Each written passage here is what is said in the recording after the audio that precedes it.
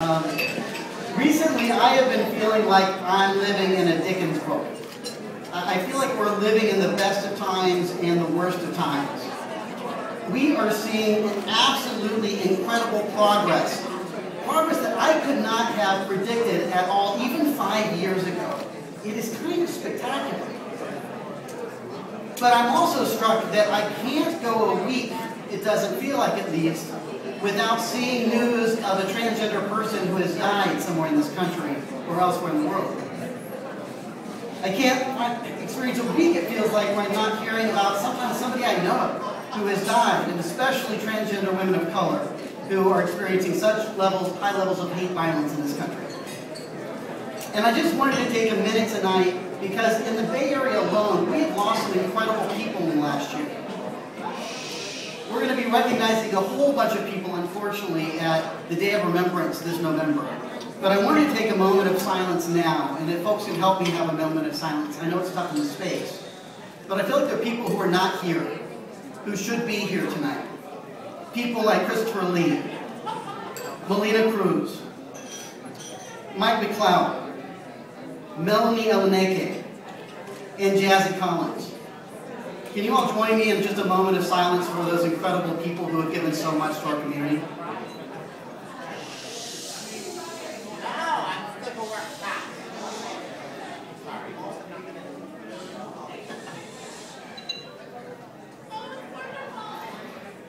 I appreciate that. Jazzy was one of the first people I met when I started coming up, back up to San Francisco to work at Transgender Law Center. And I didn't know who Jazzy was, I just knew that she was everywhere. I could not go to a meeting without Jazzy showing up and speaking about the needs of trans folk. And I loved the number of times she would show up and just drop in at Transgender Law Center and said, Masen, you gotta pay attention to this. And I sure missed that. I encourage those of you who are new on the scene, drop by the Transgender Law Center and say, hey Masen, you gotta pay attention to this. We all need it. Now, there have been some really great things that have happened this year. I am ecstatic, actually, at some of the progress we're making extending health care to transgender people. In just the last few months, the state of California has now said it is illegal to have transgender exclusions in health plans regulated by the state.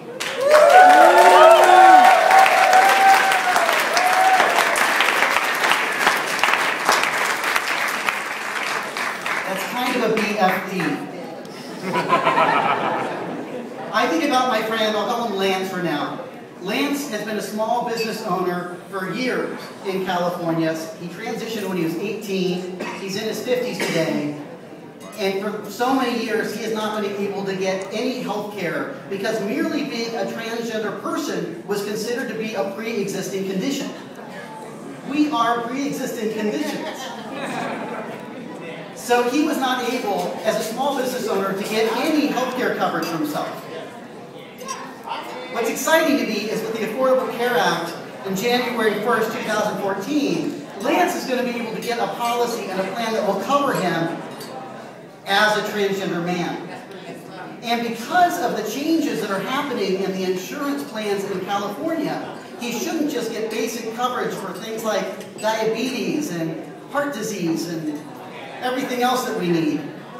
But that care now should be provided without discrimination. He should now get mental health care coverage, he should get hormones, and yes, he should get surgery.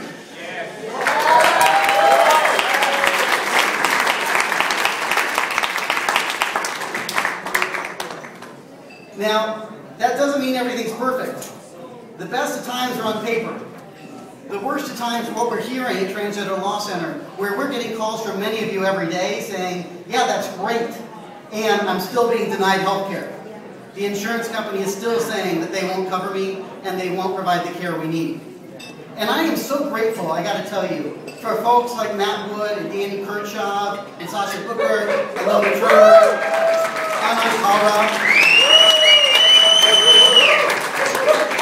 I am so grateful for our team that answers all of those calls, lets people know how to fight for themselves, and, and we'll continue to advocate until we know that everybody gets all of the care that we need and deserve. And that day will come.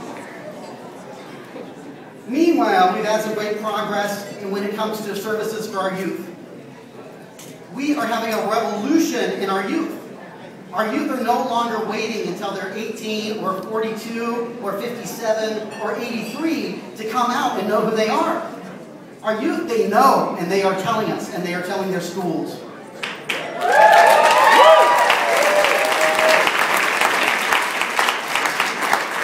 And you know, what's extra neat for somebody like me from small town Missouri is oftentimes their parents are supporting them. We are getting more calls before every school year from parents of young trans kids saying, how do I make sure my kid is supported and safe? The world is changing.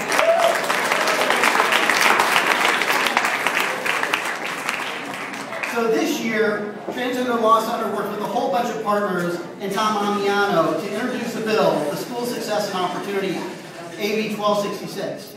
Any of you heard about this? It's another BFD. This law now says that transgender youth in our schools, K through 12, have to have access to facilities and activities that match our gender identity. Okay? This means that these young trans youth should not be having to worry about what restroom they go to, what sports teams they go to, or whether or not they can make it throughout the day and participate in after-school activities.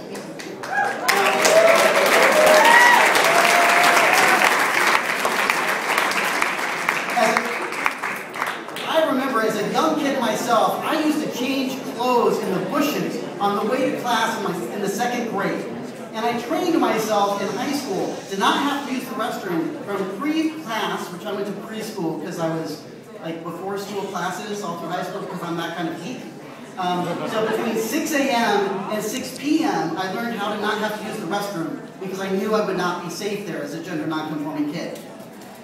Youth in California high schools and elementary schools and junior high schools, they should not have that issue anymore.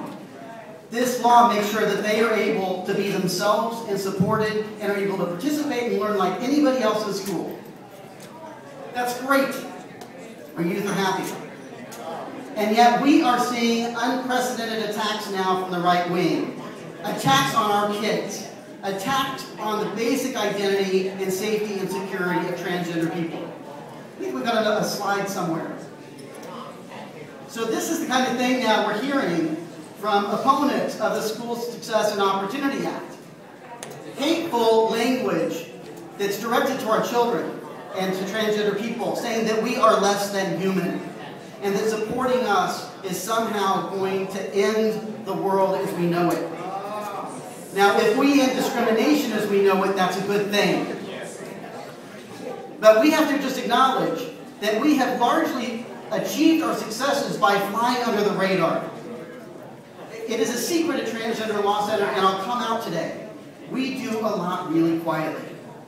We have made some of our biggest gains that nobody has noticed. We are very quiet and thoughtful about what we do because we want to make sure we have the win more than we want to have the publicity. And that has been largely effective. We're not the only one. Many organizations have done this, and we've been able to get a lot done. But I need to tell you that the days of doing things quietly are coming to an end.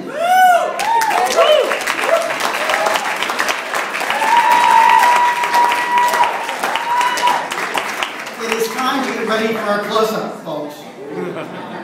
The right wing is onto us. Now, the National Organization for Marriage that fought same-sex marriage, they now have signed on as a lead opponent to AB 1266. And they are working with registered at this point identified hate groups to try to stop the School Success and Opportunity Act from being enacted. They have filed a referendum and they have until November 8th to get the signatures they need to make sure the law never takes effect. That's not going to happen.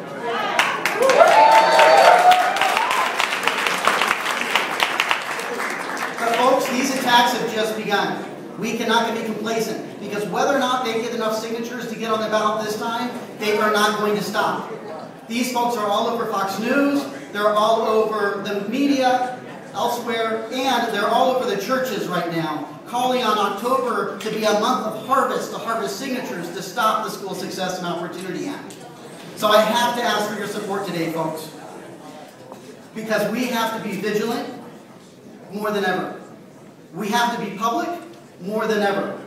And we need to show our allies and our strengths more than we ever have had to before.